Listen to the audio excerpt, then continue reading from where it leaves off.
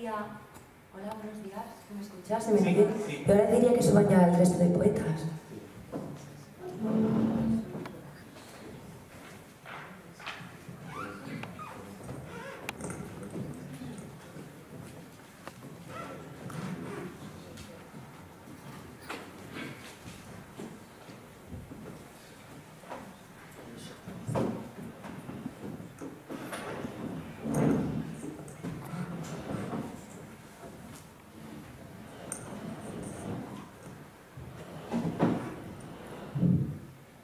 Bueno, primero avisar que em, personalmente no se me pueden hacer fotos ni se me puede grabar por parte del Ayuntamiento de Tarragona ni colgarlo en sus redes sociales.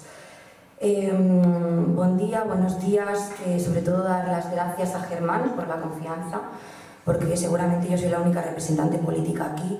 Yo no voy a agradecer a ninguna autoridad nada, y menos después de las intervenciones que hemos oído, que me daría para iniciar otro tipo de debate. ¿no?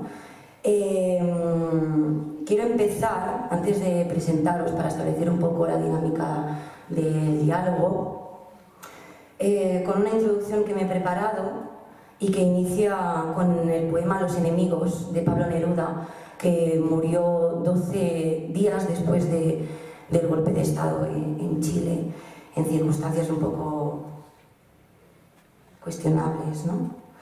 Eh, y dice así este poema, que como decía se llama Los enemigos. Ellos aquí trajeron los fusiles repletos de pólvora. Ellos mandaron el acervo exterminio. Ellos aquí encontraron un pueblo que cantaba, un pueblo por deber y por amor reunido. Y la delgada niña cayó con su bandera, y el joven sonriente rodó a su lado herido, y el estupor del pueblo vio caer a los muertos, con furia y con dolor. Entonces, en el sitio donde cayeron los asesinados, bajaron las banderas a empaparse de sangre, para alzarse de nuevo frente a los asesinos. Por esos muertos, nuestros muertos, pido castigo. Para los que de sangre salpicaron la patria, pido castigo. Para el verdugo que mandó esta muerte, pido castigo. Para el traidor que ascendió sobre el crimen, pido castigo. Para el que dio la orden de agonía, pido castigo. Para los que defendieron este crimen, pido castigo. No quiero que me den la mano, empapada con nuestra sangre. Pido castigo. No los quiero de embajadores, tampoco en su casa tranquilos. Los quiero ver aquí juzgados, en esta plaza, en este sitio. Quiero castigo.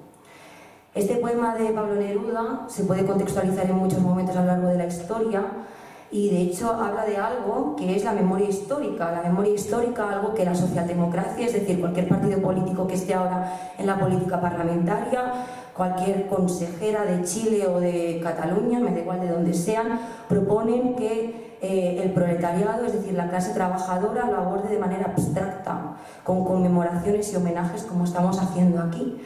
Pero los comunistas, porque yo no engaño a nadie, soy comunista, eh, tenemos muy claro que em, el mejor homenaje y la mejor conmemoración que se le puede hacer eh, a nuestra historia de lucha de clases, porque al final em, el que haga 50 años del golpe de Estado en Chile no es algo abstracto, no es una desgracia, no es un hecho trágico como hemos escuchado hasta aquí, sino que es una derrota más del movimiento obrero y de la clase trabajadora o de las clases populares, como se dice en muchos sitios. Em, por eso los comunistas tenemos muy claro que lo único que podemos hacer por la memoria histórica es trabajar y organizarnos para la construcción del socialismo. Y eso yo creo que eh, Allende, que seguramente era un poco más reformista que los comunistas de hoy, estaría bastante de acuerdo en nuestro contexto actual y se sentiría bastante orgulloso de que hoy aquí pues haya, haya alguien que diga algo verdadero. Em, yo pido castigo, como creo que debería pedir toda la clase trabajadora respecto a la memoria histórica, ya sea en Chile, ya sea en España. Em, por un lado, dejando claro esto. Luego también eh, quiero, quiero matizar que la cultura no es sanadora, que la cultura no es un poder curativo, desgraciadamente. ¿Cómo va a ser la cultura eh, sanadora y un poder curativo bajo las mismas infraestructuras capitalistas en las que se desarrolla. O sea, esto me parece es que no una, una falacia, sino una obviedad.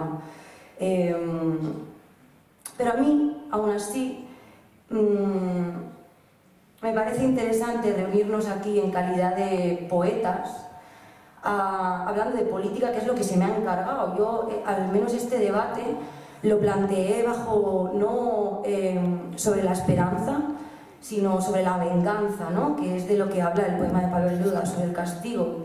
Y como decía, el castigo no, no deja de ser otra cosa que, que la organización de, de, la lucha de clases, que obviamente no se puede hacer desde ninguna institución, desgraciadamente. Eh, bueno, desgraciadamente no, que es así, ya está. Eh, se ha citado a, Violeta Parra. Violeta Parra em, era una, canta, una cantautora, una artista que hizo del folclore algo muy interesante, algo que nunca jamás nadie hizo en su época. Se acabó pegando un tiro en su propia escuela sobre el folclore y cuando el folclore no era precisamente un folclore socialdemócrata que no significa absolutamente nada o, un folclore em, nacional en un sentido catalán, que tampoco significa absolutamente nada. Por de aquí desde una perspectiva internacionalista. Es decir, eh, la única, las únicas, eh, los únicos agradecimientos es poder compartir el diálogo eh, con poetas, con personas que comparten mi oficio mm, fuera del Estado español. por eso yo desde niña he escuchado mucho Violeta Parra, también he leído mucho a su hermano. Y, hace, hace, un tiempo eh, se descubrió la carta de suicidio que dejó Violeta Parra, que de hecho no ha sido pública porque se ve que maldice absolutamente todo. Recordemos que en el último disco de Violeta Parra no solo encontramos la canción Gracias a la vida, como se ha mencionado hasta ahora, sino también Maldigo del alto cielo, ¿no? donde realmente maldecía absolutamente todo y era la otra cara del Gracias a la vida. Em, en esta carta de, suicidio, em, Violeta Parra mm, decía muchísimas cosas y algunas salieron a la luz. Por ejemplo, decía, me cago en los discursos de despedida, los revolucionarios clandestinos le han quitado una luchadora al país, hablando de ella misma, recordemos que Violeta Parra fue comunista, o sea, basta de blanquear las figuras importantes nacionales de todos los países, porque la mayoría, la gran mayoría, fueron comunistas, y esto no lo tenemos que olvidar. Violeta Parra se le acusó eh, eh, como mala madre por ir a, la URSS, a, un acto. Eh, y ella, obviamente, cuando, cuando decidió pegarse un tiro, fue por amor, fue por desamor, pero también tenía un gran resentimiento hacia su nación por la incomprensión política e incluso revolucionaria con sus propios camaradas. Y decía, los revolucionarios clandestinos le han quitado una luchadora al país, no tuve nada, lo di todo, quise dar, no encontré quien recibiera. También dijo algo como, eh, el presidente Frey es un farsante, Fidel es un romántico, Lenin se equivocó, no quiero que mis hijos sean más cobardes. Yo creo que Fidel fue un romántico, pero creo que Lenin no se equivocó y que a veces el suicidio nos lleva y la desesperación política nos lleva a, pensar equivocadamente. Sí que entiendo que, Violeta Parra lo pensara entonces, ¿no? Y sobre todo lo que, lo que quiero dejar claro de Violeta Parra es que ella dijo justo hacia el, hacia el final de su, de su carta de suicidio, eh, desesperada nada, clarificada. Y a mí esto me, interpela muchísimo. Em, por eso hablo no desde la desesperación, como muchos de los representantes aquí esperarían, siguiendo, objetualizándome, instrumentalizándome como poeta nacional catalana que la haría. Y esto no lo digo por decir, sino porque ha habido intentos antes de, de que esto sucediera, antes de este acto. Y, mi manera de liarla pues, es leer un texto de Alain Badiou, que es francés. Tampoco es que sea y acabo. Y entonces espero que este texto nos ayude a establecer el diálogo, porque es un texto que eh, se, se, llama Poesía y Comunismo. Y, y, eso. Em, empiezo. Dice, los poetas son comunistas por una razón primordial, absolutamente esencial. Su dominio es la lengua, la más de las veces la lengua materna. Ahora el lenguaje es lo que se da a todos desde la infancia como un bien absolutamente común. Los poetas son aquellos que tratan de hacer que un lenguaje diga lo que parece incapaz de decir. Los poetas son aquellos que buscan crear en el idioma nuevos nombres para nombrar lo que antes del poema no tiene nombre. Y es esencial para la poesía que estas invenciones, estas creaciones, que son internas al lenguaje, tengan el mismo destino que la lengua materna en sí misma, que le sean dadas a todos sin excepción, el poeta no apunta a anular aristocráticamente la posibilidad de la lengua materna. El poeta apunta a engrandecer, a completar las posibilidades de la lengua materna y por lo tanto es su deber, en algún grado, dirigirse a todos sin excepción. El poema es un don del poeta al lenguaje, pero este don, como el lenguaje mismo, está destinado a lo común, es decir, a este punto anónimo en el que, lo que importa no es una persona en particular, sino todo el mundo, en singular. Y es por ello, en el comunismo, los poetas verán por encima de todo una nueva figura del destino del pueblo. Y pueblo, aquí, significa ante todo los pobres, los obreros, las mujeres abandonadas, los campesinos sin tierra. ¿Por qué? Porque es ante todo para aquellos que no tienen nada que todo debe darse. Es para el mudo, para el tartamudo, para el extranjero que debe ofrecerse el poema, y no para el charlatán, para el gramático o para el nacionalista. Es a los proletarios a quienes Marx definió como aquellos que no tienen nada, excepto su propio cuerpo capaz de trabajar, a quienes debemos darles toda la tierra, como también todos los libros y toda la música y todas las pinturas y todas las ciencias. Lo que es más es para ellos, para los proletarios en todas sus formas, a quienes debe prioritariamente ofrecerse el poema del comunismo. Lo sorprendente es que esto debería llevar a todos los poetas a redescubrir una forma poética muy antigua, la epopeya. El poema comunista es primero la epopeya del heroísmo de los proletarios. El poeta turco Nazim Hikmet distingue así los poemas líricos, dedicados primordialmente al amor, de los poemas épicos, dedicados a la acción de las masas populares. Pero incluso un poeta tan sabio y tan hermético y tan contemporáneo como César Vallejo no duda en escribir un poema con el título Himno a los voluntarios de la República. Tal título, evidentemente, pertenece al orden de la conmemoración de la guerra, al compromiso épico. Estos poetas comunistas redescubren lo que ya había descubierto en Francia Víctor Hugo, el deber del poeta es buscar en el lenguaje los nuevos recursos de una epopeya, una que ya no sería la de la aristocracia de los caballeros, sino la épica del pueblo en el proceso de crear otro mundo. Obviamente eh, yo estoy más clarificada y menos desesperada que Violeta Parra por mi contexto y por la coyuntura política actual y después de leer este, este texto eh, sobre poesía y comunismo, que es muchísimo más largo, pero que establece una relación muy estrecha y muy racional y también muy sentimental sobre el comunismo y la poesía, por si a alguien escuchándome al principio no le quedaba muy claro, ¿no? que a veces tenemos la sensación de que bajo el capitalismo los artistas, los poetas, los escritores somos más libres porque podemos escribir lo que nos dé la gana y que bajo el comunismo pues las cosas no han sido así. Eh, puedo, puedo entonces afirmar que Lenin no se equivocó porque Lenin afirmó que el marxismo era todopoderoso porque era cierto. No lo digo yo, lo dicen todos los autores que, he citado hasta ahora. Y ahora sí que me gustaría presentarme. Yo soy Juana Dolores, soy escritora, soy actriz, directora de escena, dramaturga, videoartista y comunista. Y amiga de mis amigos, porque esta lista siempre la digo eh, por cachondeo, porque mis amigos desde los 17 años me dicen que soy muchas cosas. Y mm, soy catalana, de familia andaluza fincada en Cataluña, y ahora me gustaría dar paso al resto, al resto de poetas que se presenten un poco y sí que eh, me gustaría ya establecer el diálogo. Em, poniendo en relación la poesía con el compromiso político, que en mi caso lo llamo militancia, porque el compromiso político es algo muy prostituido como el concepto de memoria histórica, y cómo este compromiso político, esta militancia, se ha materializado en la plasticidad de la, de la literariedad y la literatura de su obra. Muchas gracias. No voy a hablar mucho más.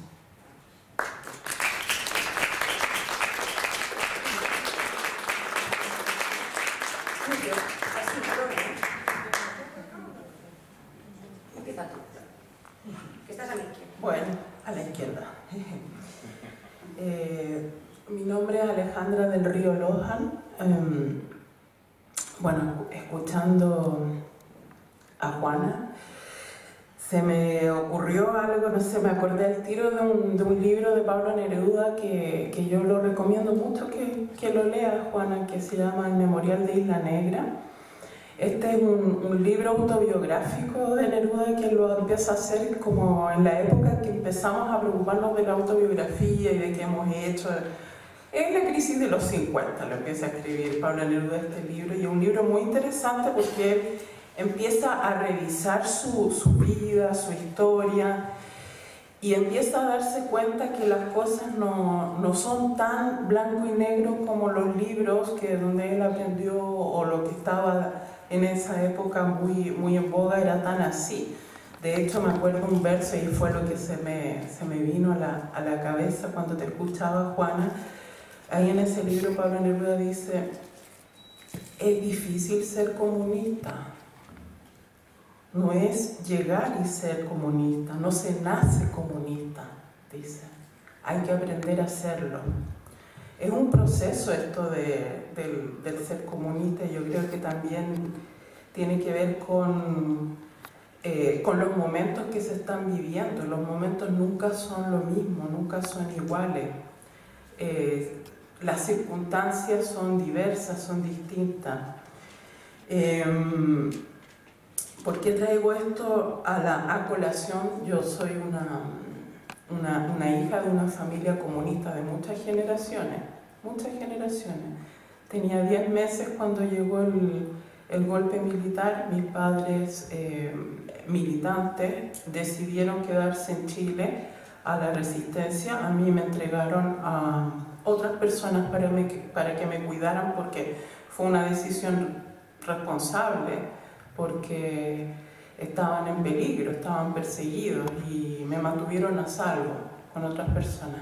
De este hecho de mi vida yo me enteré ahora este año, 50 años tengo también, igual que el golpe, eh, porque toda esta fecha, esta conmemoración nos ha llevado a la, a la reflexión. Y además mi, mi, padre está, todavía los dos están vivos y siguen, como diría Violeta Parra, comunistas con el favor de Dios. Em, por el cáncer de mi padre empezaron a soltar cosas, ellos no, no hablaban de nada de lo que habían vivido y yo siempre había sospechado que algo raro había pasado conmigo, pero no sabía que, que yo siendo un bebé eh, tuve que, que, vivir con otras personas que no eran mi familia para salvarme. Eh, ellos no saben si fueron tres semanas, tres días, tres meses o cuánto tiempo yo estuve cuidado con otras personas. ¿Por qué digo esto? Porque, porque claro, cuando hablamos de, de la lucha de clases, de los cambios sociales y todo, de repente nos olvidamos que todo eso lo hacen personas de carne y hueso que tienen biografías, vidas, que pasan cosas y que de repente pasan décadas, 50 años, hasta que eh, te enteras de, una verdad. A pesar de que yo fui criada en un estricto em, apego al materialismo histórico, la verdad que cuando yo tuve eh, edad suficiente para pensar por mí misma, no fui rebelde a mis padres. A esto me ayudó la poesía, que la conocí a temprana edad, a los ocho años, por una profesora que me dio las preguntas de Neruda justamente a responder y ahí gracias a la, a la, poesía pude como empezar a pensar por mí misma eh, y eso en un primer momento tuvo un, un choque tremendo con, con, la historia mía familiar y de mis padres, ¿no? Pero ¿qué pasa? Yo digo siempre algo que también lo dicen muchos los poetas, que seguramente mis colegas también lo saben, la poesía es una forma de conocimiento. Hay una gran filósofa española eh, la señora Zambrano que dice esto, ¿no? La poesía es una forma de conocimiento. Pero ¿qué pasa cuando esto tú lo vives desde, lo encarnas desde pequeña? Que la poesía es una forma de autoeducación, de autoconocimiento. La poesía siempre te está enseñando. Por eso mi camino de poeta, que, ya a, temprana edad me decidía, me encantó simplemente este juego de, de jugar con las palabras, eh, fui entrando más en, en que eh, también otros necesitan los beneficios de la poesía, no solo yo, que es algo que le puede llegar a, a todo el mundo y todos lo, la pueden ejercer. Y ahí fue cuando yo entré en el, en el camino de la, de la, educación poética y no estoy de acuerdo con Juana que, que, por ejemplo, la gramática no es importante. Yo creo que sí es importante. En, en este camino como poeta educadora me di cuenta que en mi país, no sé cómo será la realidad aquí en España, hay tremendo analfabetismo. O sea, de esto vamos a hablar más, pero eh, una de las consecuencias del golpe en Chile es que se destruyó sistemáticamente la educación, algo que por lo que los chilenos eh, nos sentíamos orgullosos de la educación. Nosotros tuvimos dos premios Nobel, eso no llega porque sí, es, no solamente son unos genios, todo un pueblo, un pueblo educado que, que lleva que existan eh, premios Nobel o que hayamos elegido por voto a un presidente como Salvador Allende y un sistema que pudiera llevar justicia social. Eh, todo por la educación. Todo eso se vio cercenado, cortado por, por el, golpe militar. Y al punto que, que el sistema educativo es un, un sistema que, que, lleva hacia el bloqueo cognitivo, hacia, hacia la digamos, hacia, hacia el analfabetismo. Y eso es algo que yo me he dado cuenta que, que existe en Chile y a mí me, me, me duele, me mueve mucho a, a, la rabia, la injusticia y también la compasión. Y por eso a través de la, de, esta, la práctica de la poesía he llegado a, a entregar esta, toda mi fuerza creativa a poder llevar adelante que, que, que, que muchos o todos, ojalá todos y todas puedan tener la poesía como una herramienta de autoeducación y autosanación. Yo creo que hoy en día sí la, la, la sanación es una posición política y una, una necesidad, porque como, o sea, bueno, cuando uno tiene 20 años tiene toda la, la fuerza, pero con 50 años miles de heridas y sobre todo esto que tú dices, Juana, que es, eh, y tienes razón, el golpe militar fue una derrota, una tremenda derrota. ¿Cómo levantar cabeza después de la derrota? Y ser, ser de la generación de los hijos de los derrotados, no es fácil levantar la cabeza.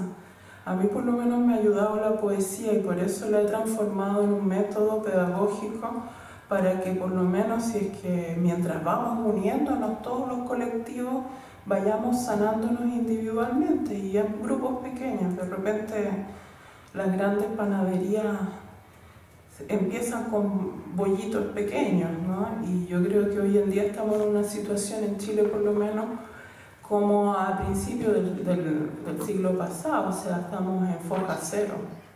Antes de Pedro Aguirre Cerda y todos los movimientos que, educativos y políticos que llevaron a, a que saliera Salvador Allende, y por eso yo creo, y, ese es, y con esto termino, es mi posición como poeta y comprometida con, eh, con la sociedad y con mis hermanos y hermanas, eh, con la educación poética, con la posibilidad de que cada ser humano, cada ser humana pueda tener la expresión y usar la expresión a su favor. Yo creo que, como dice un gran pedagogo, eh, Korchak, dice, el derecho a la expresión es casi lo mismo que el derecho a la educación. En este momento yo, bueno, no, no, milito como mis padres en un partido político, pero milito en esta filosofía, buscando que las personas puedan expresarse y de esa manera autoeducarse y autosanarse, porque yo creo que son personas sanas las que podrán reconstruir el mundo. Eso nomás tengo para presentarme y aportar a lo que dijiste, Juana.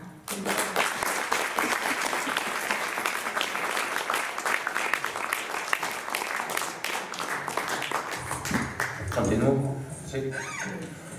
Bueno, yo soy Juan Carlos Elijas, eh, muchos me conocéis. Eh, soy poeta local, kilómetro cero, 20 kilómetros más o menos. Intentaré ser lo más conciso posible. Eh, estoy aquí con la intención de leer dos poemas y de que escuchemos todos juntos una canción, siguiendo una pauta de cuatro palabras que es la idea que yo me había hecho eh, al llegar aquí, o al, decir que sí, al ofrecimiento, ¿verdad? Que tengo que agradecer a todas las personas que han pensado que yo podría estar aquí hoy. Eh, dar la bienvenida eh, a, todos los que venís de, Chile a, compartir estos ratos, ¿no? Estas, estos días de, de intercambio vamos a decir, poético. Y las cuatro palabras, pues son memoria, palabra, exilio y homenaje.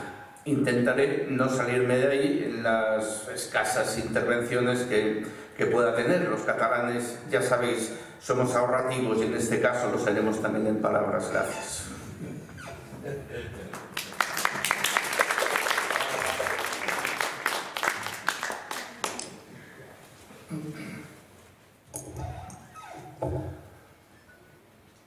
Marmari con Pugnei tu facci Tarragona guardia meu e certo mai tu facci un chancan meu. Un saludo para ustedes, eh, amigas y amigos de, de esta ciudad hermosa, en lo poco que la hemos visto. Mm, es difícil decir algunas palabras, hilvanar algunas palabras en, un instante como este, eh, eh, lejos del lugar que cada quien habita. Em, en mi caso yo vengo desde una comunidad eh, mapuche al sur de Chile, vivo en la precordillera, al interior de una ciudad bastante al sur de Santiago, que se llama Temuco que es eh, la ciudad en la que creció eh, el niño eh, Nestalí, el niño conocido hoy día como Pablo Neruda, y que junto con Gabriela Mistral, que también habitó en Temuco, como ustedes sabrán, ella fue una de las personas que incentivó a, a Nestalí eh, Reyes a, transformarse en eh, el gran poeta extraordinario eh, Pablo Neruda. con esto quiero decir que, que la palabra poética es la posibilidad de establecer los lazos más profundos entre personas entre pueblos, entre eh, diversos eh, pensamientos. recuerdo que mi padre, que, fue dirigente eh, desde estudiante, porque a nosotros como pueblos nativos, y, y nos asumimos como pueblos nativos porque sostenemos la memoria, porque sabemos que uno de nosotros cuando hablamos, es un pueblo el que habla, eh, que nada comienza con nosotros eh, y que la conversación es un arte, eh, la conversación poética es un arte, pero no es un arte por lo que podamos decir, porque siempre hay la posibilidad de decirlo mejor, de decirlo por lo tanto más profundamente. Eh, la palabra, eh, nos dicen, es un arte, eh, porque allí sucede algo que es muy difícil de aprender. Y como decía, no es cómo hilvanamos las palabras, porque las palabras son un regalo, el pensamiento es un regalo, que nos hacen nuestras mayores y nuestros mayores, nuestros antepasados. Entonces, eh, eh, no es difícil, esa, esa parte de la conversación nos dice, el arte de la conversación la hace el aprendizaje de algo muy difícil, que es el aprender a escuchar. Nos dicen, es tan difícil que a veces no nos escuchamos eh, a nosotros mismos. Entonces, eh, em, la teorización eh, no es nuestra herramienta fundamental, porque finalmente uno es la expresión de lo que quiera, es la expresión de la memoria. no, somos nosotros los que tenemos que decir eh, eh, cuál es eh, el legado que, dejamos. A, lo mejor apenas la expresión en este breve andar por la vida de, un, sueño, que no sabemos si, si alguien lo va a soñar también con nosotros. Y mi padre decía, nosotros nacemos en comunidades y por lo tanto podemos ser cuando ustedes entren a, la sociedad, eh, a conversar con la sociedad chilena, eh, podemos ser eh, socialistas, porque nos gusta compartir con, todos y con todas. O podremos ser comunistas, porque vivimos en comunidades. O sea, nosotros somos, sin adscribirnos o sumándonos a, ese ideario, eh, somos comunistas eh, por eh, motivo de, vivencia. Todo lo hacemos en comunidad. Afortunadamente eso no se ha perdido. Y, la poesía es precisamente una memoria que está en todos y en todas. Em, y seré también eh, breve frente a, este momento, que es el momento inaugural, eh, agregando que algo muy importante, que es el agradecimiento eh, para las personas que nos han permitido llegar a representar aquí un pensamiento que también otros y otras pudieron y, podrán hacerlo mejor que nosotros. Eh, eh, Germán, que es quien eh, habló por, ustedes y por nosotros, representa a cada uno de los que estamos aquí en, la mesa y, que hemos venido para hablar con ustedes. Porque larga la historia que, España, eh, con los pueblos nativos del continente del cual venimos, América, eh, ha tenido, pero eh, no es el momento. es el momento de la reflexión, es el momento del abrazo, porque cada uno y cada uno de los que están aquí, ustedes, son sin duda ese abrazo eh, porque estamos en la idea poética eh, común. Y eh, se ha dicho, la memoria, la poesía es memoria.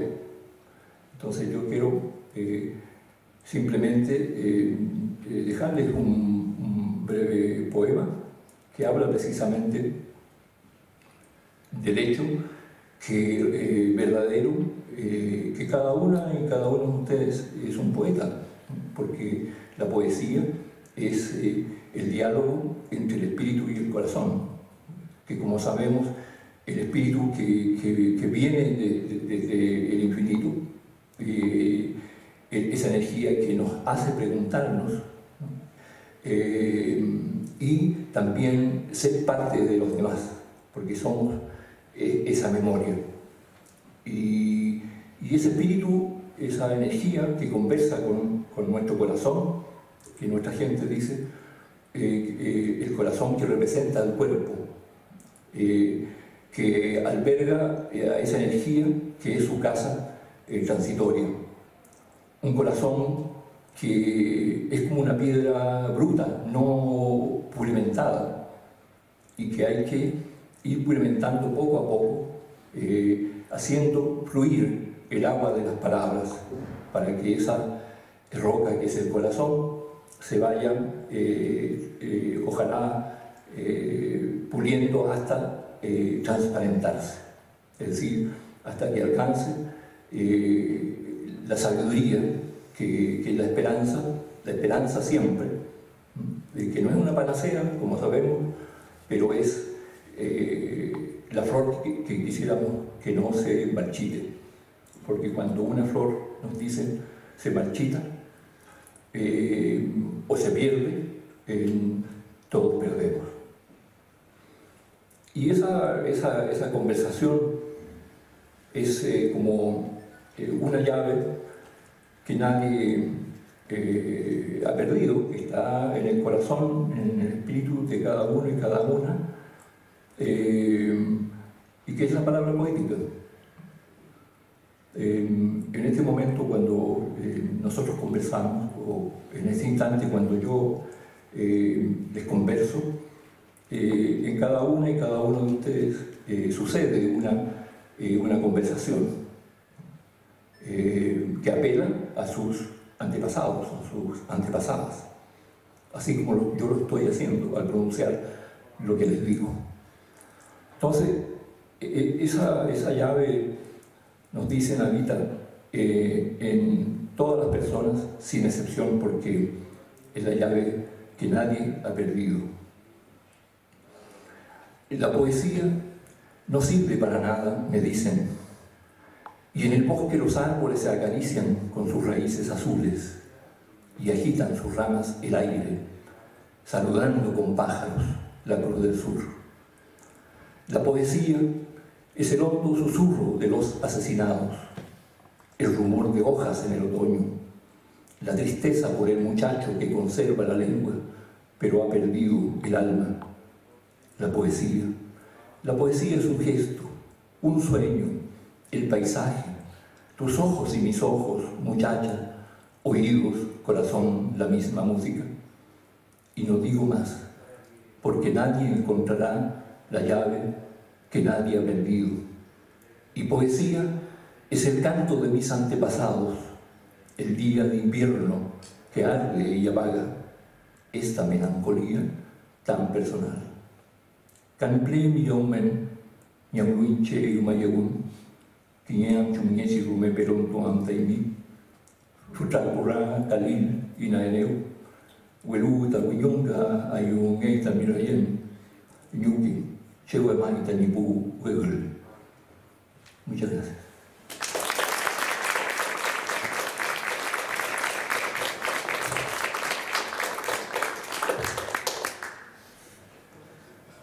Gracias, Elicura, por tus palabras. Gracias, compañera Alejandra, compañera Dolores, compañera. ¿Tu nombre, perdona? Es Juan Carlos. Juan Carlos. Sí.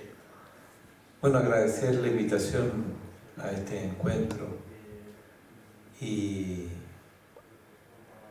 y decir dos o tres cosas. La primera es que yo llegué a la convicción política gracias al arte gracias a los discursos políticos ni, a la experiencia política. Yo era alumno del liceo, hijo de un par de profesores de educación básica, que no, aparte de ser profesores en Chile, que es casi ya un estigma,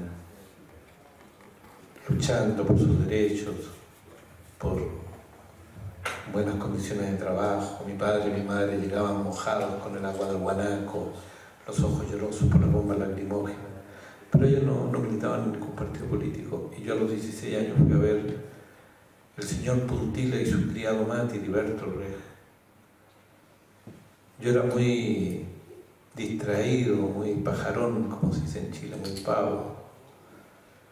Pero sin embargo, algo del maestro Brecht quedó en mí al ver esa obra, en donde no se pronuncia la palabra comunista ninguna vez, ni comunismo. Pero había unos estudiantes de derecha en mi liceo que a la salida del teatro dijeron, esto es puro comunismo. Y yo dije, entonces yo soy comunista. Así, así de esa manera distraída llegué a militar a la Juventud Comunista de Chile y luego al partido.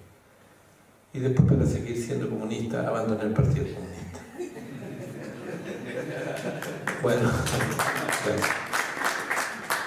Eh, y claro, cuando abandoné el partido y seguí siendo comunista, eh, con una vocación por la libertad, por la palabra, por la poesía, mágicamente me llegó un trabajo para hacer talleres en cárceles. Estuve ocho años haciendo talleres en cárceles de Santiago, Valparaíso, a grupos de hombres. Descubrí algo que mucha otra gente había descubierto antes y que otra gente sigue descubriendo hoy día, y es que en Chile se encarcela la pobreza. Los presos eran todos, gente del pueblo, gente pobre, que por diferentes razones habían llegado allí. Y mi tarea fue aprender de ellos. Se suponía que yo iba a enseñar algo, pero en realidad yo fui un alumno de ellos. Y lo que aprendí fundamentalmente fue que la palabra es un, es un instrumento, una llave, como decía el cura, de libertad. Ellos cuando escribían se hacían libres. Alguna vez encontramos un texto de un, preso mexicano que decía, cuando un poema sale, un poema mío sale de la cárcel, sale un poco de mí hacia la libertad.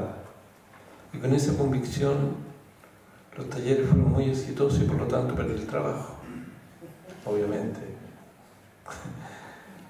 Eh, uno de los tantos errores que cometimos fue hacer una revista que se llamaba Fuga. Fue demasiado para la autoridad. Eh,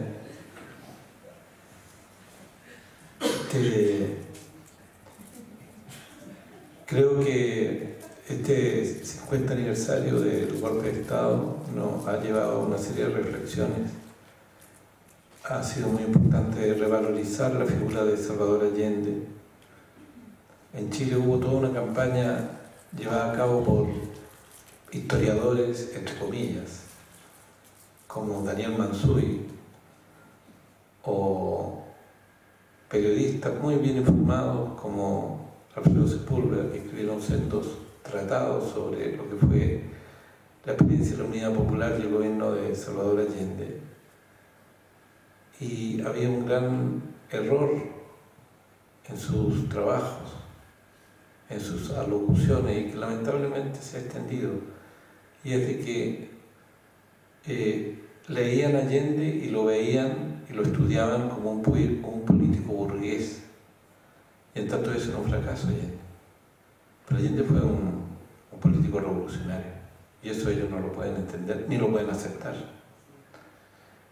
Eh, entonces, y lo otro que quiero decir con esto terminar es que tal pareciera ser que la energía del cincuentenario del golpe de Estado consumió eh, toda la memoria en ese solo hecho y los 17 años restantes quedan ya sumidos en el olvido y en la ignorancia.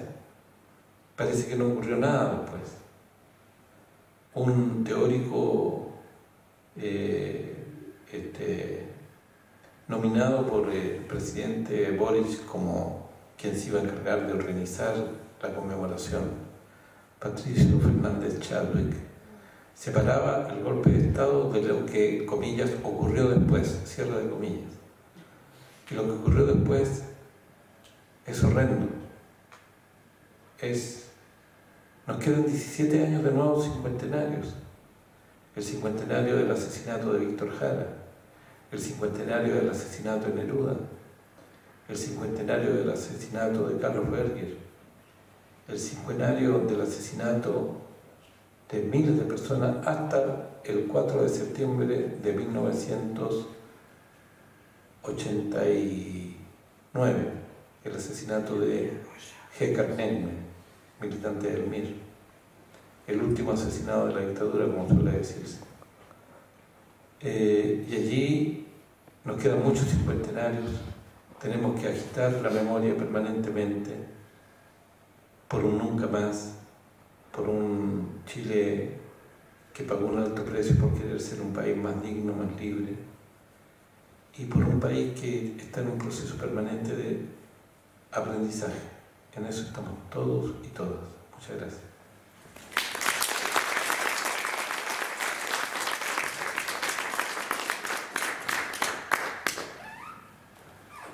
Eh, muchas gracias. Eh, inicio un toque que, aprovechando lo que habéis comentado, y, luego a ver si la gente se anima a hacer preguntas. Em, bueno, ha, quedado bastante claro que la postura que, hemos expresado eh, todos ha sido desde la memoria histórica, desde la importancia de la memoria histórica. Mm, yo quiero volver a, recuperar este concepto del que he dicho cuatro cosas al principio. ¿no? Em, a veces tengo la sensación de que las generaciones de artistas o las generaciones de poetas en particular se, separan mucho. Es como que los poetas jóvenes, que yo ya no soy tan joven, se ha hecho alusión a mi juventud, yo me siento muy halagada siempre, tengo 32 años. O sea, no tengo 20 años y digo que soy comunista con 10 años de militancia de experiencia, tengo 32 años, no soy una niña. Em, siempre la relación que yo veo que que se establece entre los poetas jóvenes, donde yo me podría encabir respecto a los poetas más mayores, siempre es como una especie de escucha, ¿no? Una especie de, de, que aquellos poetas sabios, nuestros sabios, nuestros maestros, que yo reivindico mucho eh, la figura de los maestros, sobre todo eh, literarios como, como escritora, em, tienen algo que, que, transmitirnos y que enseñarnos. Pero a mí eso ya no me es suficiente. O sea, yo ahora quiero em, trasladar a mis maestros a mis sabios, que son toda, ese, hilo rojo ¿no? que, configuran los poetas de todo el mundo em, y que mayoritariamente pues, no, es, no es casualidad ¿no? que, se, que siempre eh, se, se posicionen o se sitúen en perspectivas comunistas o en perspectivas a los márgenes del comunismo, no, no es... No es eh, casualidad, forma parte también de, que la palabra no es que sea transformadora, sino que es revolucionaria, ¿no? O sea, en, un contexto donde la revolución no es organizada o no puede ser organizada, sí que yo creo y estoy muy de acuerdo con lo que se ha expresado aquí, que creo que todos estamos de acuerdo, en que la palabra, en, cierto caso, poética, eh, sí que alberga un tipo de, de revolución. Pero al final es una revolución individual, ¿no? Es una revolución que nos atañe a nosotros como poetas en nuestra casa, que al final no nos lee mucha gente. O sea, que a lo mejor a vosotros os leen más gente, pero quiero decir, se llega a, un tipo de pueblo concreto, a un tipo de público concreto. Entonces yo quiero trasladaros un poco a un presente. Y no como poeta catalana o poeta española, sino, sino como poeta joven, ¿no? Em, básicamente porque no podemos seguir haciendo, o sea, yo no, no puedo seguir haciendo conmemoración y homenajes a la memoria histórica de mis maestros, Em, porque ya lo he hecho, eh, porque ya se hace, porque no se puede obviar que Chile, después del golpe de Estado, eh, es hoy en día eh, uno de los países, o por no decir el que más, el país más vendido al capitalismo de toda Latinoamérica. Y, y, cuál, cuál es la posición de los poetas jóvenes que vosotros esperáis. O sea, cuál es el análisis de coyuntura política que vosotros hacéis. Básicamente porque es que si no estamos abordando la memoria histórica desde una perspectiva moral y no desde una perspectiva política. Y en el sentido de que, bueno, sí, mm, podemos hacer toda la poesía respecto a la memoria histórica que, que, queramos y que deseemos, pero, pero yo eh, tengo todavía muchos años por delante, muchísimos, eh, eh, y no sé si me voy a aburrir, no sé si me voy a desesperar, no quiero pegarme un tiro como Violeta Parra, entonces yo sí que os pregunto directamente, os interpelo y os digo ¿Cuál debe ser la militancia de un poeta hoy en día? Porque no hay otra. O sea, no, no, eh, eh, en, en, este contexto contemporáneo hoy en día, desde una perspectiva internacionalista, yo no puedo seguir pensando en mi poesía. Em, se ha comentado de que desde una perspectiva totalmente individualista, se ha dicho algo muy bonito en el que yo estoy totalmente de acuerdo, que cualquier poeta, cualquier poeta es el diálogo entre el espíritu y el corazón, pero el espíritu y el corazón hoy en día eh, bajo la globalización absoluta y bajo el imperialismo absoluto hay una crisis de fe, hay una crisis de sentimiento. Esto hace que la poesía o que la cultura sea un páramo ideológico y que muy poca gente se pueda dedicar al arte y no solo eso, sino que cada vez menos gente se acerque a la poesía desde una perspectiva pura y auténtica, que eso sí que eh, lo añoro de aquellos tiempos aparentemente revolucionarios. Entonces a mí me gustaría pues atraeros un poco al, al presente.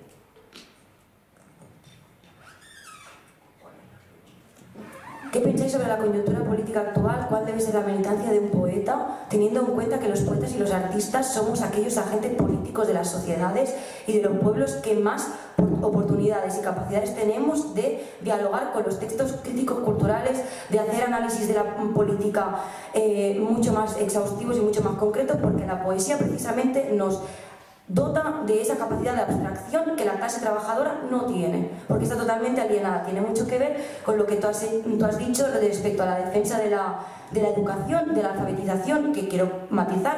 Eh, si eh, ¿Quién ha hecho más que los comunistas por la alfabetización de todos los países y todos los pueblos?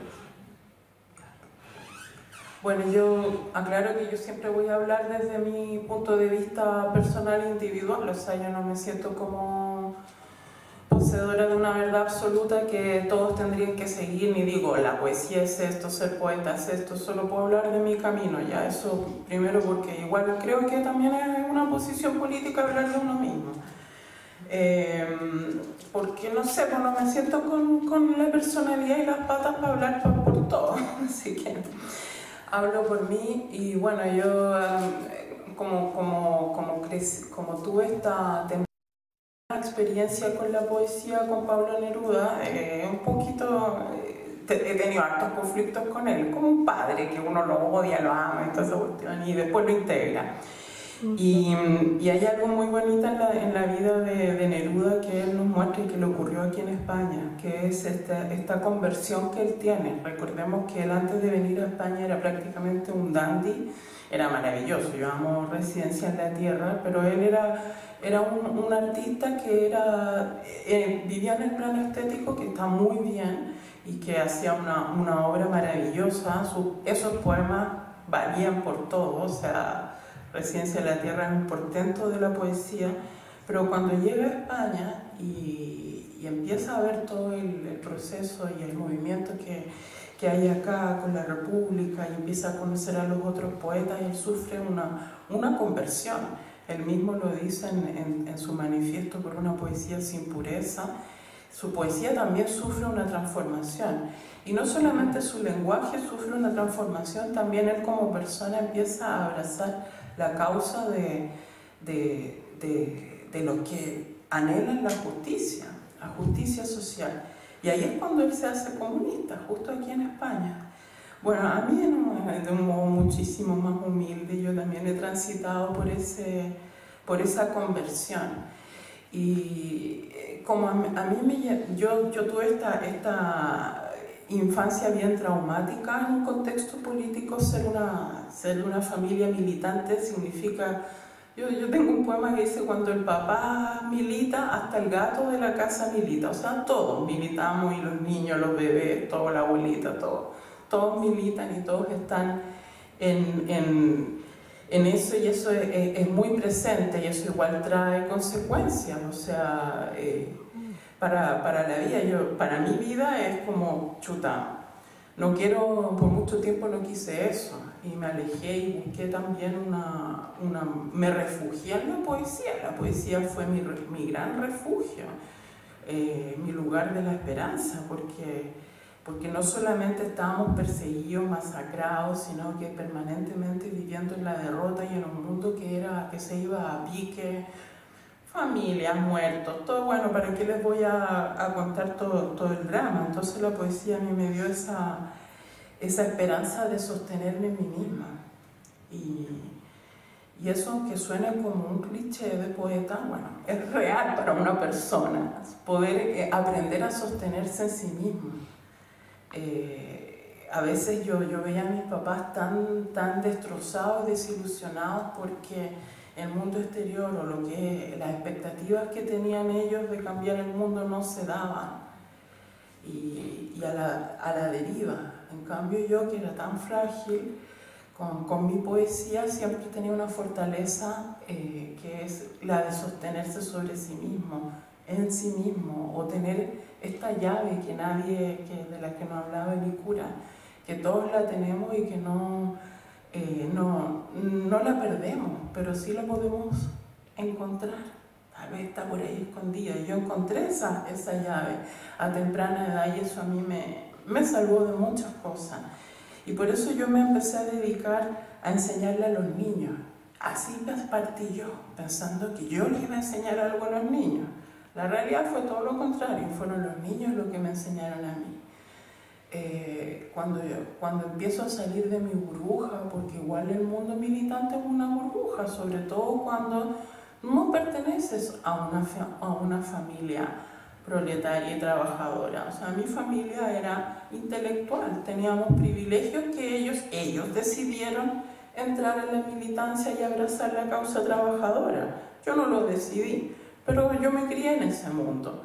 Pero yo crecí con privilegios, ¿ya? Y tuve mis privilegios. Eh, estudiar en un buen colegio, a pesar, esa es la parte buena, ¿no? A pesar del dolor y toda la persecución y de repente llega el momento en que, ¿qué hago con estos privilegios? ¿Qué hago con esto que he aprendido, con este regalo que he tenido de la poesía? ¿Lo voy a dejar solo para mí? ¿Es para mí? ¿Es para mi carrera? ¿Es para yo florearme? ¿Para yo encontrar la iluminación? Y ahí es cuando eh, yo sufro esta conversión y la sufro en Monte Grande. Monte Grande es un pueblito aquí en Chile, en el, en el Valle del Elqui de donde es oriunda eh, otra de mis maestras, Gabriela Mistral.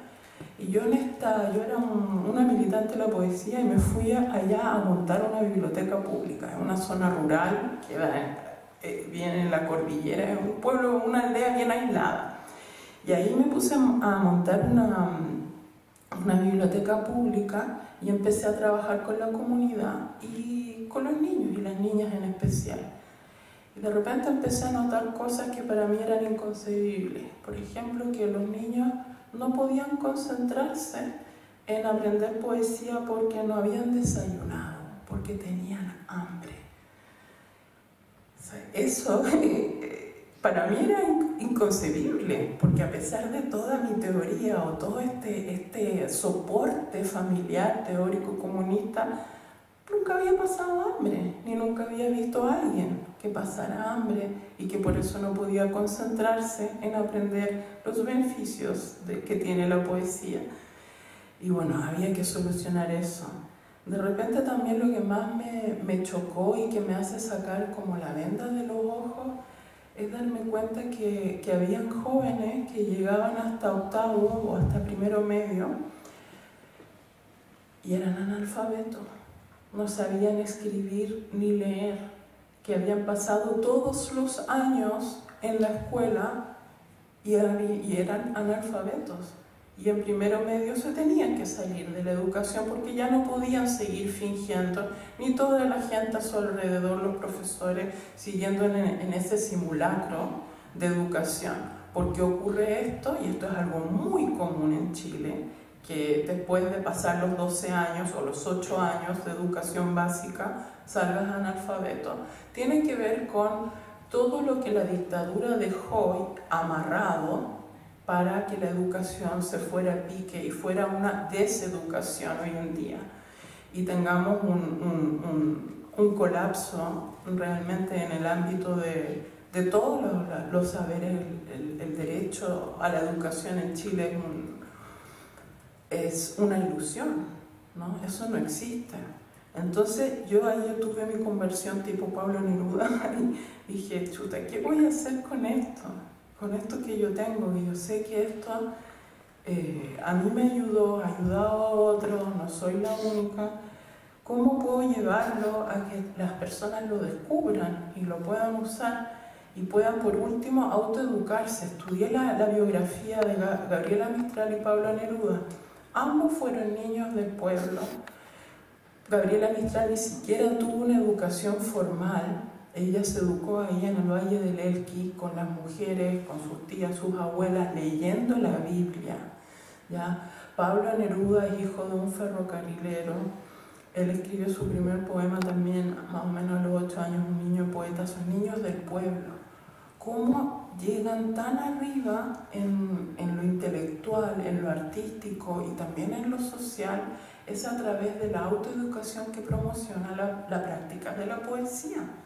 Entonces son, ellos son autodidactas.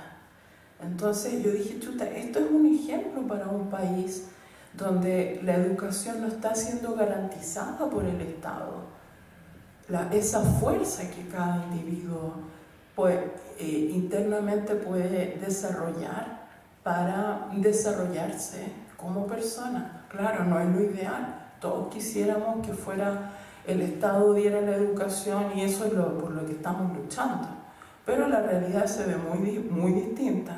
Cuando tú preguntas eh, Juana, ¿cuál es el, el, el, rol social y el rol eh, político con, con, con, la sociedad? Yo no creo que está en la escritura de los poemas. Ya, yo creo que mis poemas no... Tal vez puedan llegar a algunas personas, son, son pocos los lectores de poesía, pero sí el trabajo que yo realizo como didacta, como pedagoga de la poesía, donde eh, además de desarrollar didácticas que sean acordes a los tiempos de hoy, que no es lo mismo que la educación del siglo XX ni del siglo XIX, estamos inmersos en una realidad diferente, con gran exposición a las pantallas, eh, la escritura a mano se ha abandonado, trayendo enormes consecuencias eh, para, la, la neuro, para la educación. Hay muchas sinapsis cerebrales que no se realizan y se están perdiendo por la pérdida de la escritura a mano. Solamente eso que nos parece como de perogrullo. Yo me pregunto aquí, ¿hay alguien de aquí que todavía está escribiendo a mano? Bueno, felicitaciones, están haciendo una salud para su cerebro y eso ojalá también lo puedan llevar a, a sus hijos, sobrinos, nietos. Regálenle un cuaderno a los niños un cuaderno y un lápiz. Más que un libro. Estoy haciendo súper hereje. Estoy siendo muy hereje.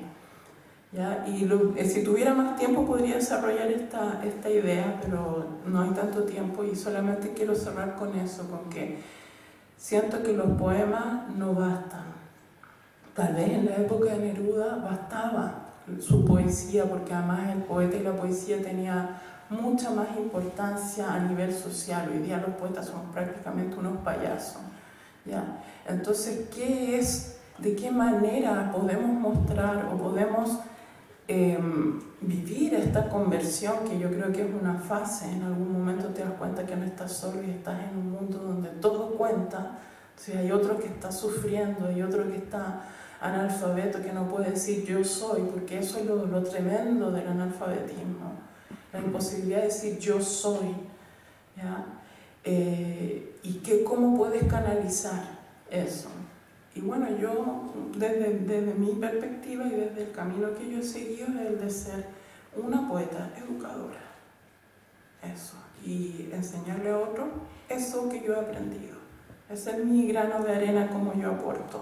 Y espero que, que en algún momento, en los zigzags de la historia, eh, eso pueda aportar a la revolución, realmente lo quiero, pero prefiero aferrarme a las cosas concretas de la vida y al trabajo que puedo hacer como persona en este tiempo que se me ha dado en, esta, en este planeta.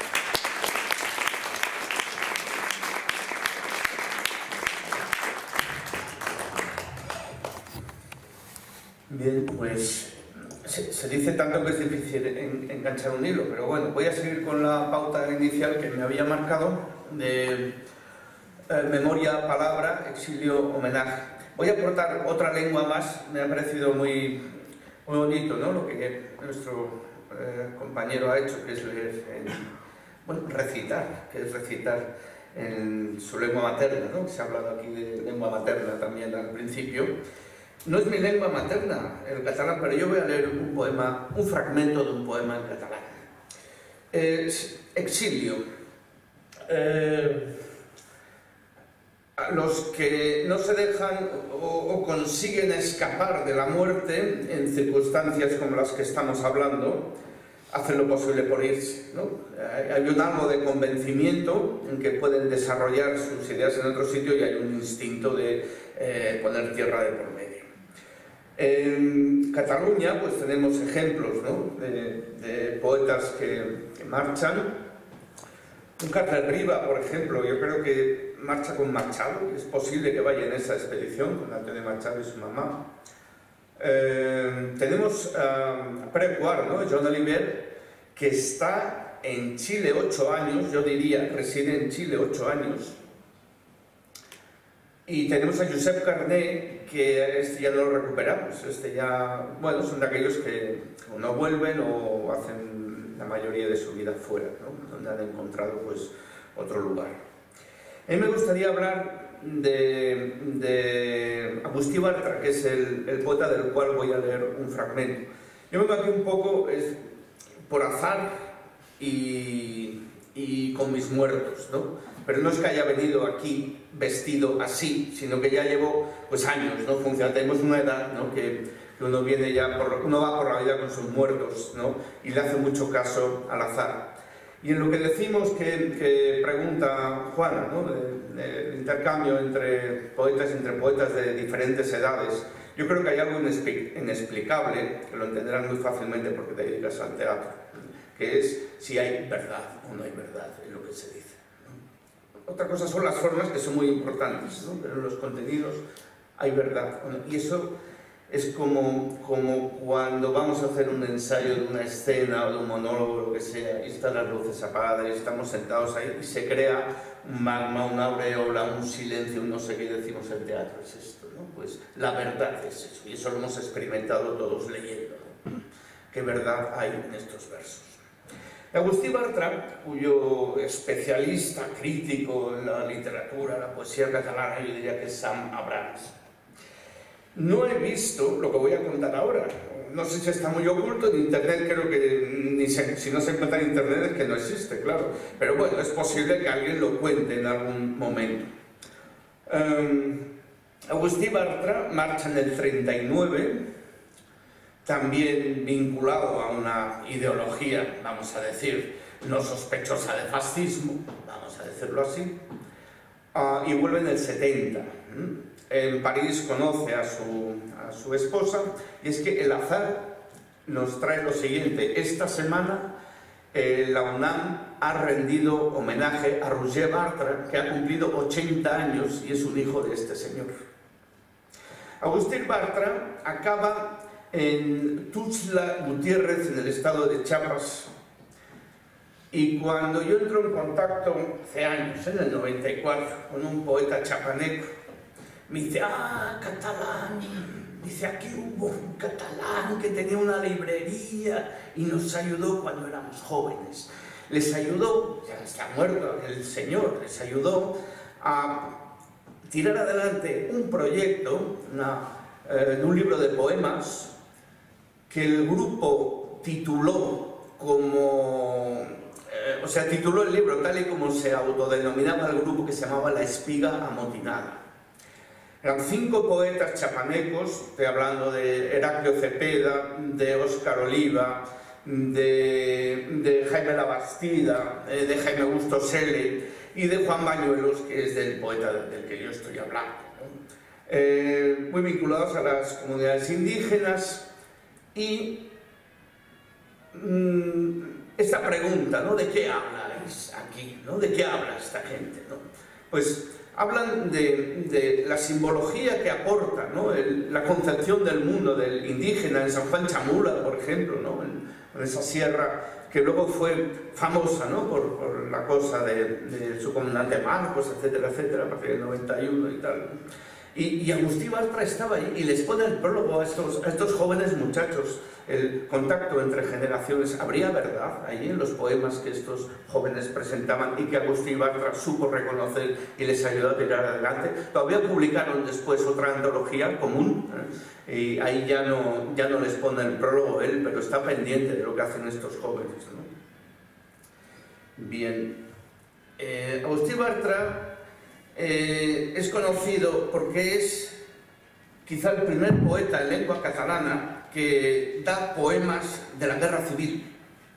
¿Sí? Yo voy a leer simplemente un fragmento porque he prometido ser conciso y no me voy a hacer el pesado ahora, que los que me podéis saber que soy muy pesado, pero aquí, como somos tantos y los que tienen eh, importancia para su discurso, pues son los que vienen de fuera, hay que ser educados y amables. ¿no? Eh, no, faltaria más, faltaria más. Eh? Diu així, eh, es titula Paraules a l'home i diu Eus ací que caic agenollat i amb l'anel de parlar-te dins aquest silenci de negres presagis. En aquesta obscura espera final que ens obre una agonia diferent a cada ull. Voldria poder tocar-te amb cada una de les meves paraules, entrar dins la teva ànima com el vent omple la vall, ja que demà potser um haurà cremat totes les flors.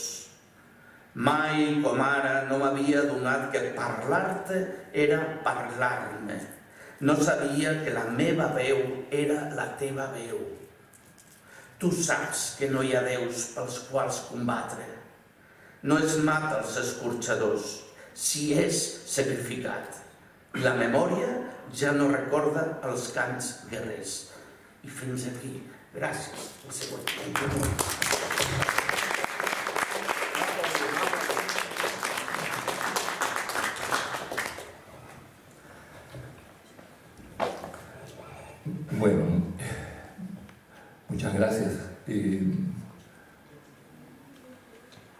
Siempre que hay que hilvanar unas cuantas palabras, eh, uno no sabe cuál es el, camino por el cual va a ir. Eh, eh lo claro está que como cuando está en el campo o en la ciudad, uno elige algún atajo, algún, sendero ya conocido, pero siempre me parece movido eh, el conocimiento que nos han legado y la manera de cómo nos movemos en esa, en, esa naturaleza que nos han legado nuestros antepasados. porque, bueno, nadie, dice mucha gente, elige nacer en, en, un tiempo, un lugar, en, una historia, un territorio, eh, un idioma, una visión de mundo, etc. Pero eh, la eh, palabra poética que, que, sigo creyendo que sucede entre, en esa conversación entre el espíritu y el corazón, no, nos permite entonces realizar algo que es fundamental, dice mucha gente, que si no elegimos ninguno, ninguna de las cosas que nos tocan, y, la, eh, antigua pregunta fundamental sigue siendo eh, eh, parado frente al universo y haciendo una pregunta en todos los idiomas, de dónde venimos, hacia dónde vamos. Entonces, vamos cumpliendo de esa manera la tarea de, intentar responder a esa pregunta.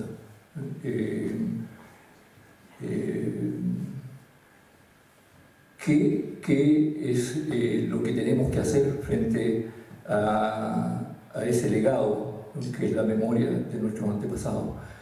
Hay una historia diferente los pueblos eh, se eh, topan en algún punto eh, con ella, pero en definitiva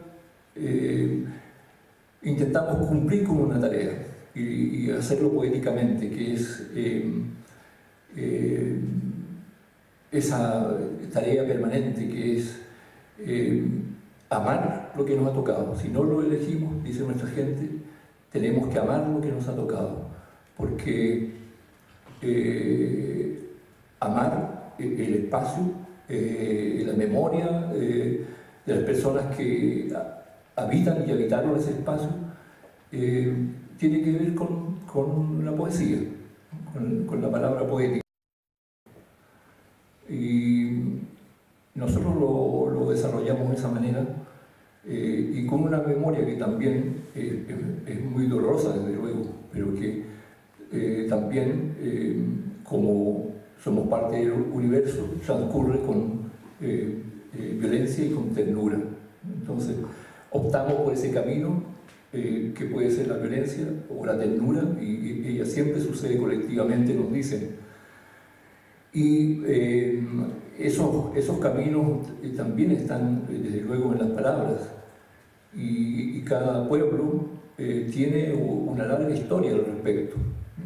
nosotros como pueblos nativos, como pueblo mapuche en particular, sostenemos, aceptando la diversidad del camino del atajo que cada cual elige, pero reitero, lo, elige con ternura eh, y a veces la ternura también eh, eh, duele. Y nosotros como, como cultura, como pueblo, apreciamos la memoria de, de, quien hoy día nos reúne, que es la memoria del presidente Salvador Allende que para nosotros es un paréntesis en la historia de violencia que el Estado chileno ha tenido en contra de nuestro pueblo. Eh, el deseo de vivir, eh, la historia de, muerte, de persecución, eh, tiene siglos para nosotros. Y, el Estado de ayer y el Estado de hoy, con matices, eh, sigue en la misma tarea de, em, exclusión, de intento de, eh, subsumirnos en un, en un ideario que no es el nuestro. Porque nosotros somos como pueblos nativos, eh, tenemos un sentido comunitario, apelamos siempre a la memoria por eso. Y tenemos vínculos, eh, eh, reitero, eh, con chilenos y chilenas que han tendido una mano para la conversación, para el diálogo. Entonces,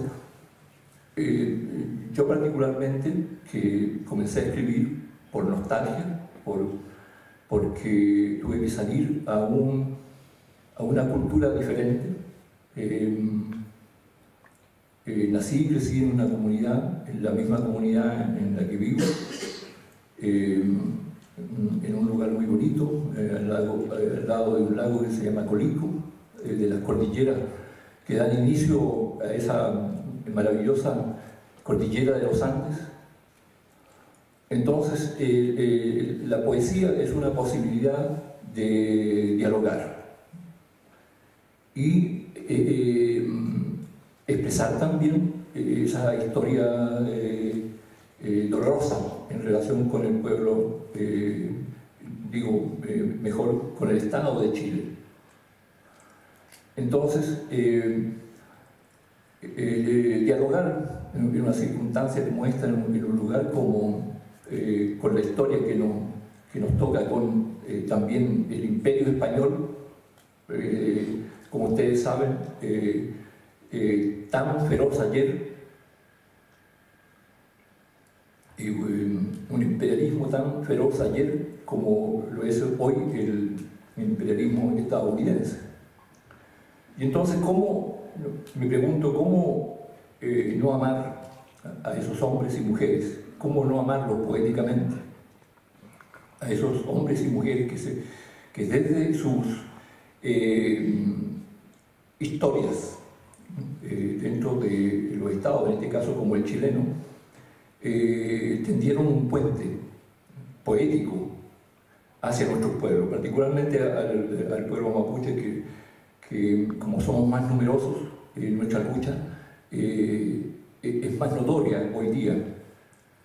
Y cuando eh, digo eh, estos, estos puentes de ternura, como fue el presidente Salvador Allende, como ya el nombrado querido poeta Pablo Neruda, Gabriela Mistral, y todos los que vinieron después, y, y, los que están aquí y que serán también de manera con mayor o, menor énfasis, pero eh, siempre aportando lo suyo, eh, eh, como parte de una historia actual en, la que podemos teorizar de, una u otra manera, pero lo importante me parece hoy, para mí, ha sido bien emocionante eh, caminar por estas calles, lo conversábamos incluso ayer, hoy día, eh, cuando caminábamos con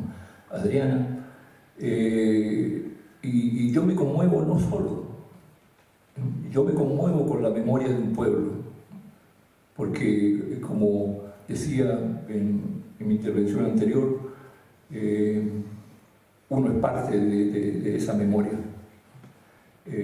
Y entonces, eh, yo estoy en, este camino, como, digo, eh, por militancia en la nostalgia, pero una nostalgia que no se queda inmóvil, eh, una nostalgia que tiende su mano hacia la nostalgia y la esperanza de personas como ustedes, porque a mí me conmueve, me emociona estar en en, España, particularmente estar en Cataluña, que también sostiene una lucha eh, eh, más o menos semejante a la que nosotros tenemos como, como pueblo mapuche.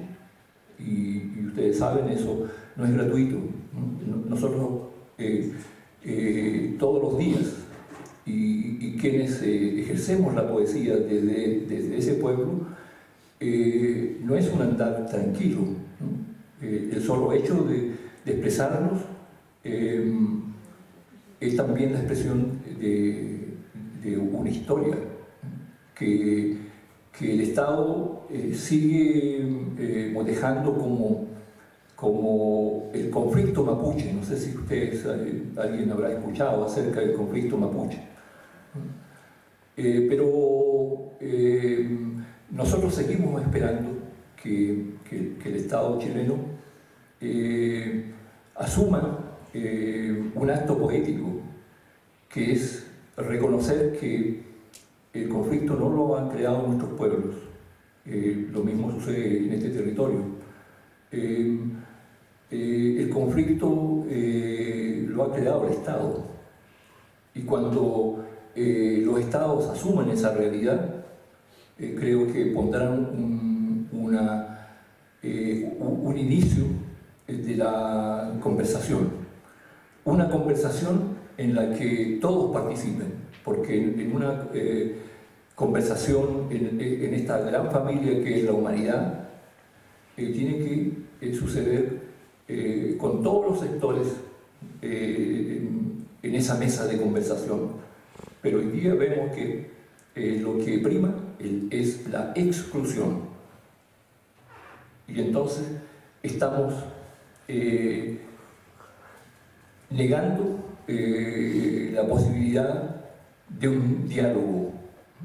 Y el diálogo es, siempre eh, poético, porque aceptamos todas las maneras de teorizar al respecto, aceptamos esa diversidad maravillosa que es la expresión que tiene cada quien a, reunir unas cuantas palabras que siempre, siempre están apelando a la memoria. Eh, cuando eh, escribimos un verso, suceden dos cosas, me parece.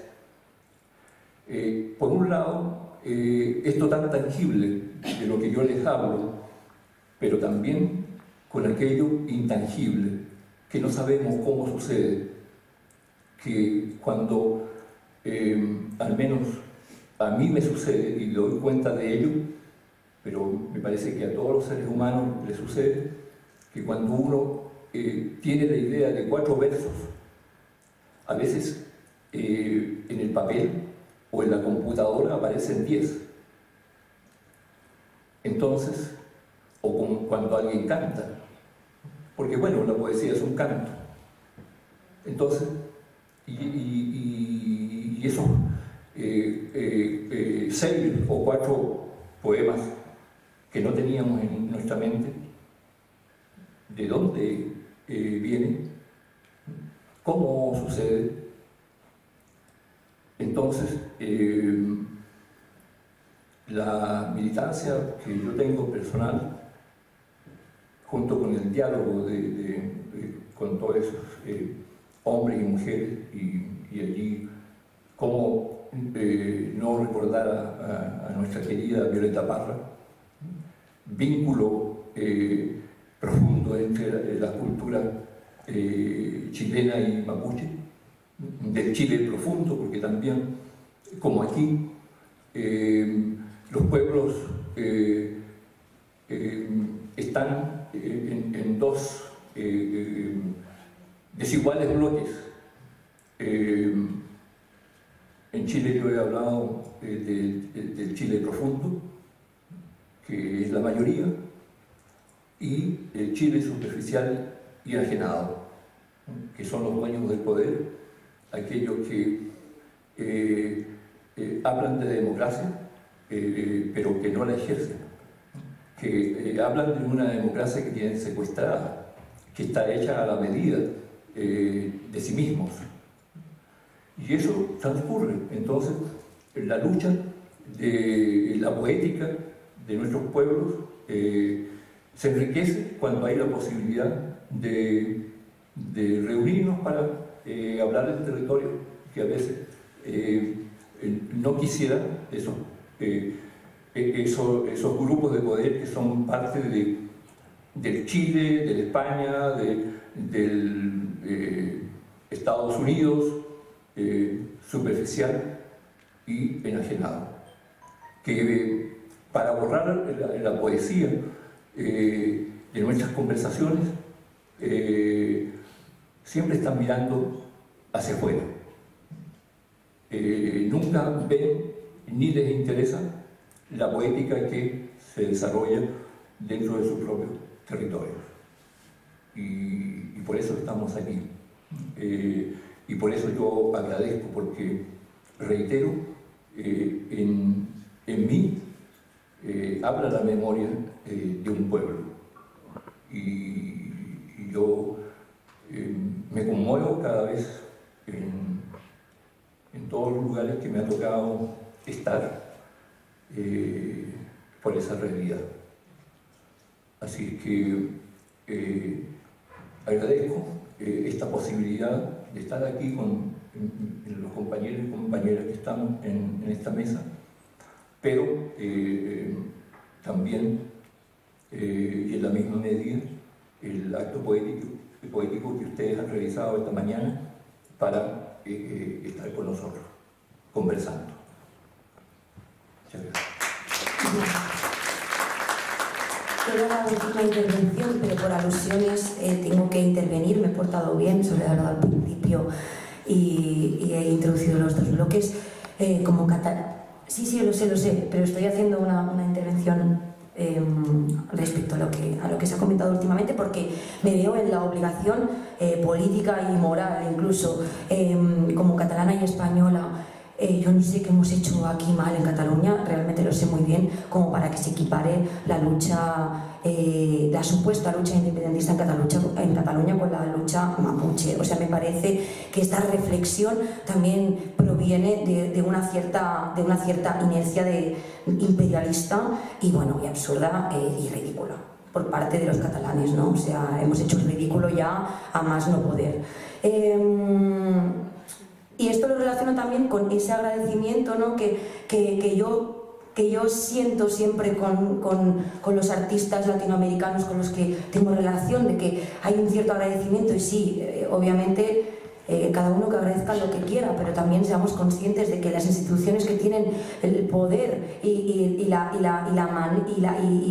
capacidad ahora mismo de organizar estos actos eh, forman parte del mismo problema, ¿no? Porque estamos hablando aquí todo el rato de las injusticias y tal y cual, que está muy bien, pero no se habla de algo que es el capitalismo, que es lo que realmente eh, eh, es, este, es, lo que causa eh, desde la, la, analfabetización hasta la confrontación entre pueblos, etcétera, y para acabar ya el acto poético nunca estará en un Estado burgués. O sea, no podemos esperar que el Estado, eh, un Estado como el chileno, que insisto es el más neoliberal de toda, de toda Latinoamérica, eh, reconozca eh, un acto poético del pueblo, porque eso jamás sucederá. Y, mm, y ya está.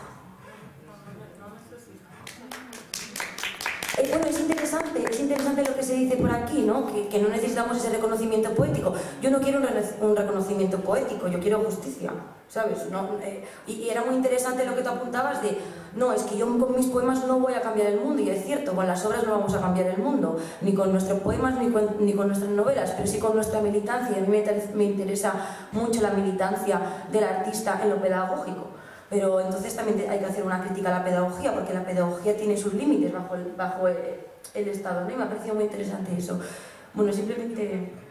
Sí, sí, sí. Lo siento, pero es que la, analogía entre la lucha independentista y la lucha mapuche pues me deja un poco...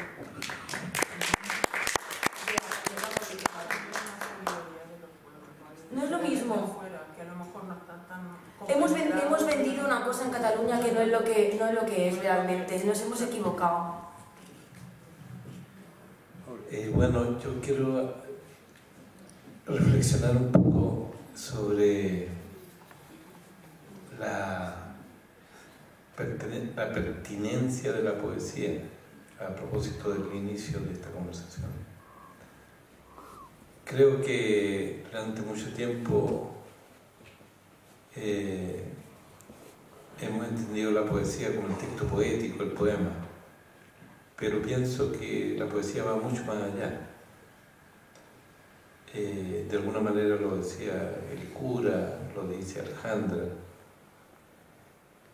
esta urdiembre de palabras que no está en el texto poético, pero que es poesía, lo que hace Delay Love, por ejemplo. Alguien podría decir que esas predicciones son poemas son poesía, no son un libro, son poetas, o lo que hacen las tesis, o lo que hizo el grupo Fletcher a propósito del estallido social, un tema rock, en que la letra era un informe político mejor que todos los informes políticos que hace la izquierda chilena, sobre lo que estaba ocurriendo en ese momento en Chile. Yo desde el año 87 a la fecha eh, recojo papeles en la calle y no solamente papeles, recojo otros materiales con inscripciones, con palabras. Si mi mujer no me echa de la casa cuando vuelva, va a ser, un milagro porque tengo varias habitaciones llenas de papeles. Eh, y ahí está la poesía. Ahí está la poesía del improperio, ahí está el panfleto del obrero, ahí está la carta de desamor de una pareja gay, ahí está la receta de cocina amorosa de una señora, ahí está la lista de compras de una haitiana, ah, ahí está la poesía, está botada en la calle. Estas las letras de canciones. Esta es la forma en cómo hablamos, en las metáforas. Eh, he tenido eh, la fortuna de hacer amistad con una gran periodista chilena, Alejandra Matus. Nos hemos juntado varias veces a conversar y es increíble la cantidad de, de dichos que ella usa que yo desconocía. Algunos vienen de Cuba, otros de Calama, porque ella es oriunda de Calama. Otros dichos son de viejos periodistas, como eh, como este, periodistas de Concepción, periodistas del Diario del Sur, viejos periodistas que la, la criaron a ella desde niña como periodista. Entonces ella tiene una cantidad de dichos y eso es poesía. Eh, Mario Gómez López fue uno de sus maestros. Bueno, eh, y creo que hay que estar atentos a eso porque el, graffiti, la cantidad de graffiti, se han hecho varios libros de, de graffiti que se pintaron en las calles de, de Chile, de Santiago, de, y la fortuna de ver cómo circula la poesía. El año 82, debe haber sido 83, mi madre me envió al exilio, yo estaba exiliado en Inglaterra, una revista cultural de nombre La Bicicleta. Y allí venía un, un graffiti, una fotografía de un graffiti de los años 80, principios de los 80. Decía, prefiero el caos a esta weá charcha. Y yo lo, lo, anoté y lo retomé después cuando hice una canción que se llama Química, que vamos a interpretar con Taburito y Coto, para que cupiera en primer lugar en, en, la, en, la, métrica y en segundo lugar para que no me censurara la radio cooperativa. Yo no puse la palabra hueá, puse realidad, que es la misma hueá. Yo prefiero el caos a esta realidad tan charcha. Cuando comenzó el estallido social, la revuelta social, estaba con mi compañera en un balneario, Las Cruces, en el centro de Chile, cerca de Isla Negra, cerca donde, donde Neruda tenía su casa, cerca de Cartagena, donde Vicente Huidobro tenía su casa. Es un territorio, un litoral lleno de poetas y de otros no tan conocidos como el poeta Jonás, Jaime Gómez Rogers. Eh, y, y, con mi mujer salimos a caminar por este pequeño pueblito y había una cartulina pegada en una casa. Y tenía unas mariposas dibujadas, unos árboles, era un dibujo que había hecho una niña o un niño. Y habían escrito yo prefiero el caos a esta hueá tan charcha la poesía se me devolvía, la poesía que yo había recogido de un grafiti a través de una revista y que yo lo había hecho canción se me devolvía. Y esa urdiembra en la que participamos todas, todos, todes, es lo que hay que alimentar, diría yo, hay que prodigar, porque en realidad estamos todos escribiendo el mismo libro, estamos todas escribiendo el mismo libro me, me, me ha parecido muy pertinente lo que decía Alejandra, la cantidad de zonas del cerebro que no se activan cuando se pega en una tecla y la cantidad de zonas del cerebro que se activan cuando uno tiene que escribir y uno va perdiendo la, la forma de escribir. Yo le pido a los poetas de mi taller que escriban en un cuaderno, en papel. Si a uno se le empieza a olvidar, si uno teclea tanto que yo la otra vez no podía escribir tres, porque hacía la T, la R y después hacía el número 3 y una S. ¿Cómo se escribe 3?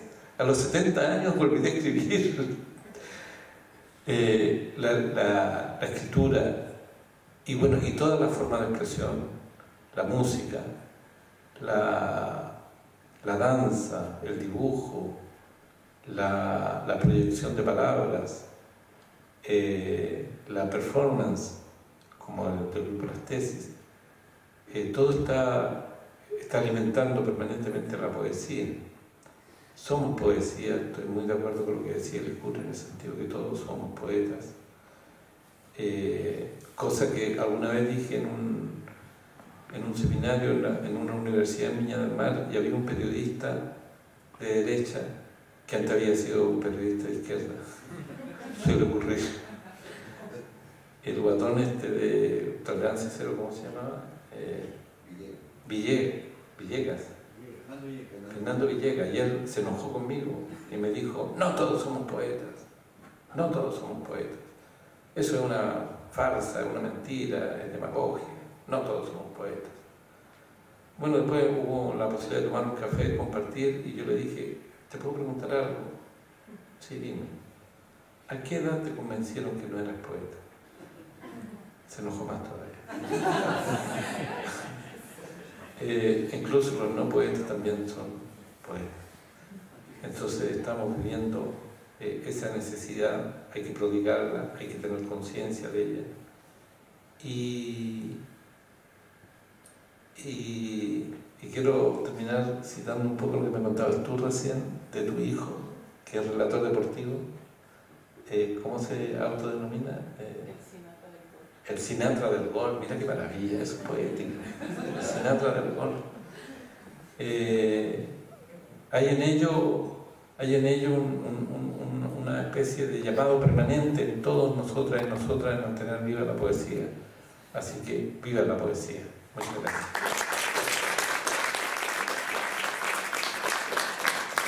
Son la 1 y 21 y vamos desde las eh, once y media. Yo creo que ya es hora de acabar. Eh, muchas gracias a todo el mundo. Y quiero acabar con una cita de Walter Benjamin, eh, haciendo referencia a la memoria histórica que dice, me la han pasado justo hoy por WhatsApp un amigo que dice así la cita, y los muertos estarán a salvo mientras los enemigos sigan vivos.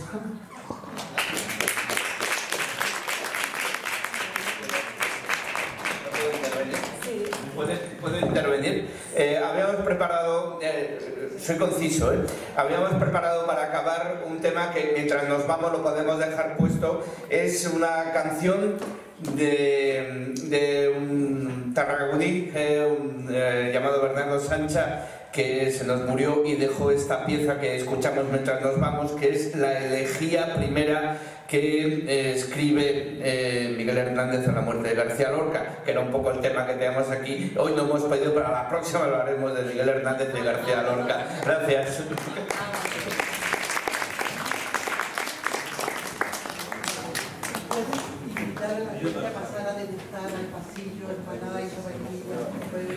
Una buena noticia hay una increíble banquetería esperándolos arriba con empanadas, con pebre, o puras cosas chilenas ricas y que están todos invitados al banquete.